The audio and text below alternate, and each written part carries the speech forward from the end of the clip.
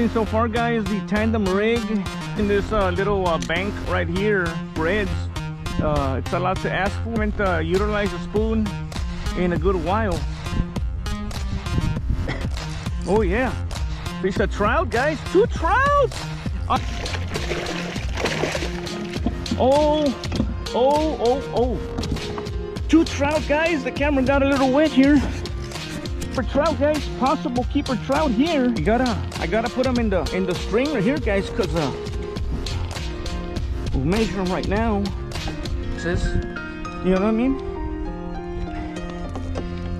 Use the you know it's the far away from from town. Those are definitely keeper trout guys. Keeper keeper keeper. Positively sure that they're not oversized all right?